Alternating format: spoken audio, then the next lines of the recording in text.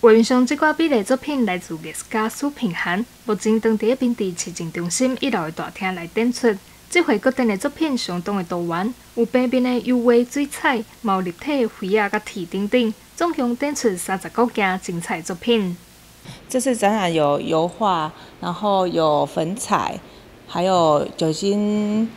颜料，还有诶环氧树脂，然后有铁丝，有掐丝珐琅画。还有烧弱化，像这个是我的呃硕士论文的作品，然后它主要是因为我们油画的颜料就是比较重，然后要做成立体的样子比较难，所以我就是用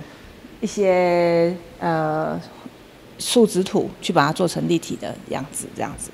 艺术家苏平涵的妈妈是知名油画家黄美娥，自细汉就受到妈妈影响，展现对艺术的天分。黄美娥老师这边嘛特别到场参观查某囝的展览，替查某囝加油打气。